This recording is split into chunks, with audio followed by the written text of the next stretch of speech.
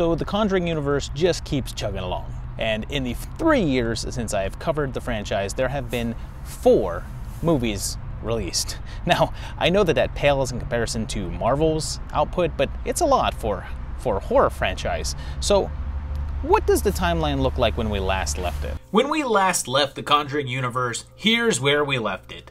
The first movie chronologically was actually Annabelle Creation, taking place in 43, 55, and 67.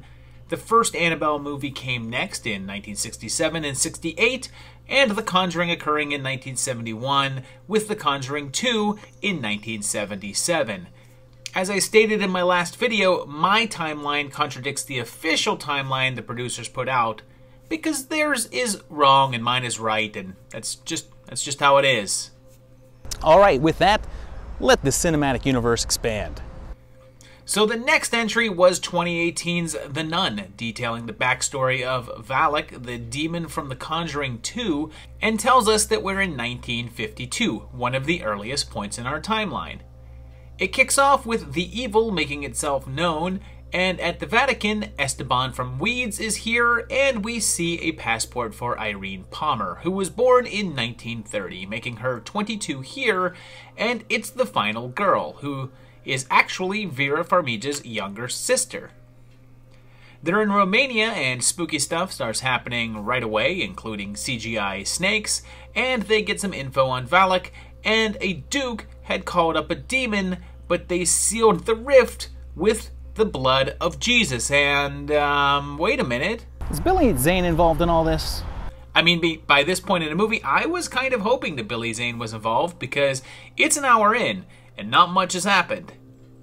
It turns out that World War II bombings reopened that rift, and Valak is loose again, but doesn't really show up until an hour in, and they discover that they need to reseal the gate with the blood of Christ, which luckily they have because it's in this key, or, uh, sorry, uh, this thing, and then Irene gets possessed. But don't worry, she spits the blood of Jesus into the nun's face, which destroys it. Hmm.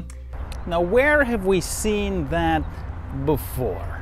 We see that Frenchie's been possessed, and his name is Maurice, and we jump ahead 20 years to 1972 and the beginning of The Conjuring, kicking off that movie, showing us that scam artists known as the Warrens. And wait a minute, uh, the first the first Conjuring movie takes place in 1971, so that title card should say uh, 19 years later, or possibly 20 years or so later, or maybe 20 years later, give or take.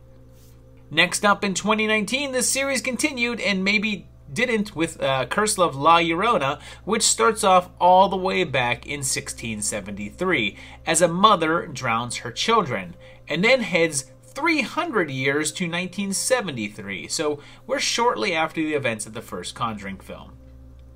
Velma's here, and she's a caseworker, and her current charges end up drowned in the river, and they blame Anck-su-namun.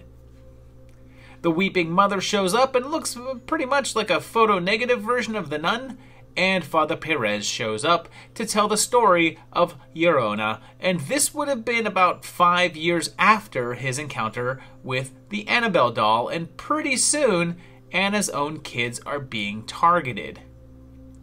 A series of pretty run of the mill spooky stuff happens, and Perez mentions an incident with a doll, and they show Annabelle for like a second, and they team up with a local shaman. And you know, I know that I recognize this face from somewhere.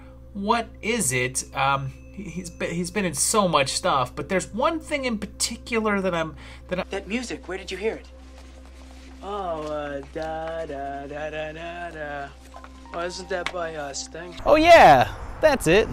Anna manages to take the woman's necklace, and the kids use it to temporarily distract the ghost, and they stab her with some special cross, and it kills her. So here's the deal with this one it has Father Perez in it, and he's clearly the same guy from Annabelle. And the doll even shows up, so it's clearly a part of the series, but the director says it's not a part of the Conjuring universe and that that stuff was just sort of an inside joke. But whatever, I mean, if you're gonna put that stuff in there, have James Wan produce your movie, and you're gonna be the director that steps in to do the third Conjuring movie? This one's a part of the universe. Shut up. Later in 2019, we also saw the third part of the Annabelle series with Annabelle Comes Home, which starts with going back to the doll's introduction in the first Conjuring movie. And they take the doll, which is a real doll that someone would actually have made for actual children to play with.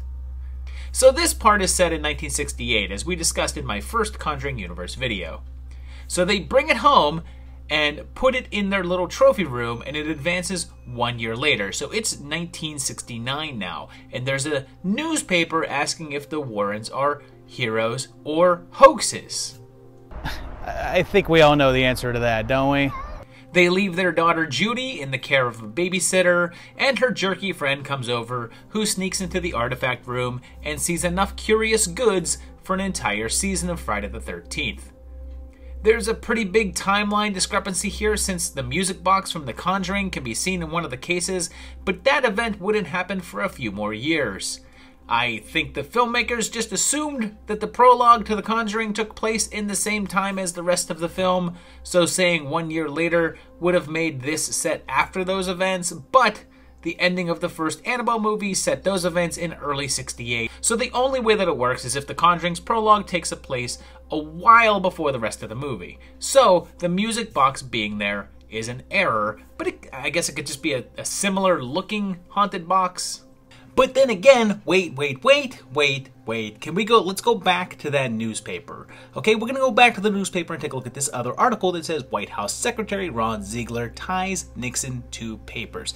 That is a reference to the Watergate scandal, which began in 1972 and spanned all the way until 1974. So, I think what the movie is trying to do here is set itself in 1972, one year after The Conjuring, not knowing the whole thing about the prologue. So, basically, the incorrect thing here is that title card saying one year later. It's actually four years later from the scene where they collect Annabelle. It's the only way it works. Anyway, Daniela leaves Annabelle's case open and she starts to unleash the other spirits like the bride, and on TV there's a Raggedy Ann doll, which, by the way, is what the real life Annabelle looked like, not a horror movie prop. There's a big CGI dog thing, a ghost called the Ferryman, and of course Annabelle herself, and even some haunted samurai suit, like it's like it's Bloodbeat or something. They end up fighting the demon inside the doll and manage to close and lock the doll case, and everyone makes it out okay. And you know, if I were trapped in any horror movie franchise, like like any of them, any of them, I would choose the Conjuring universe because the demons in them just kind of suck at actually killing anyone. Which brings us up to current times with 2021's The Conjuring The Devil Made Me Do It. I guess also known as The Conjuring 3, which starts with telling us that it's July of 1981 with the Warrens scamming another family. Oh, uh, sorry. I keep happening. I mean, exorcising spirits from a young boy. Little David's older brother offers himself, and the demon accepts, and Ed has a heart attack. Spooky stuff starts happening to young Arnie, and it's just a short time later, so it's still summer of 81, and the teen boy kills his landlord. The Warrens are then called in to help his case and convince the jury that the devil made him do it, and Lorraine says, Ed and I have proven the existence of the demonic hundreds of times. You've proven it to the church. This is a court of law. The standards of evidence are completely different. As in, you know, they have some. It's September 81, and the Warrens begin investigating what led up to the possession, discovering that there's a curse involved, along with Walter Bishop, who has a trophy room of his own. A series of spooky spooky happens, and Kastner is revealed to be the source of the curse, and there's an exorcism for Arnie, and the Warrens destroy the curse, which stops the witch lady who placed it. He then places the totem in the trophy room along with the Valak painting and Annabelle, and Arnie uh, still gets jail time, and the Warrens kind of just move on to their next marks. So why give them a hard time? I mean, it's just It's just a movie version, right? Well, okay, the reason is this. You see, little David and Arnie had two other brothers that the movie deleted. One of those brothers, Carl, outright sued the Warrens for their books and movies about his family's case and stated that his little bro was having issues and a genuine mental disorder, but his parents, instead of seeking actual psychiatric assistance, listened to the Warrens. Carl stated that they told the family that they would be millionaires if they'd simply told people that their child was actually possessed, and also convinced the family to go with the whole demonic possession aspect of Arnie's trial, which still ended up with the real life Arnie in jail, but gave the Warrens a book to publish. They also claimed that there were definitely ghosts in the Amityville house, a claim that later was proven to be false when that whole thing was revealed to be a hoax. They claimed that they felt actual demonic forces in the Enfield case, which was also revealed to be a hoax, a fact that they tried to justify in The Conjuring 2 by inventing the notion that the ghost forced the little girl to fake some stuff. Plus, when writing their book, in a dark place, they sought out help from a ghostwriter who went to interview the family it was based on. That writer, Ray Garton, says the family wasn't haunted, but were deeply troubled, and none of them had the same story about the haunting. But yet the Warrens told him, all of the people who come to us are crazy, so just use what you can and make the rest up. Make it up and make it scary. So that's my issue with them. They're frauds. And before someone says, well, it's, it's just a movie, just enjoy that. That's hard because I don't want to support scam artists. Look, this is the equivalent of someone coming out with this new movie about Bernie Madoff and this true life story about he was this big hero and was helping people out and this huge philanthropist, but the evil corporations brought him down by slandering his name and unfairly locking him up. I mean, we're in a time in which people don't believe actual facts and real science spoken by actual scientists and things that have scores of evidence proving them. So I guess it burns me a bit that these charlatans could just say, oh, now, you know, we, we, we feel ghosts, but but can never, you know, uh, prove it, and everyone just lines up to buy a ticket to their new movie. Y- you want to tell these stories? Fine. Change the details. Change the names. Alter it enough so that it's not close enough to the Warrens' version of, quote, reality that they get no credit and no further canonization. Make a movie about people who didn't take advantage of those in a tough spot and exploit them to enrich themselves.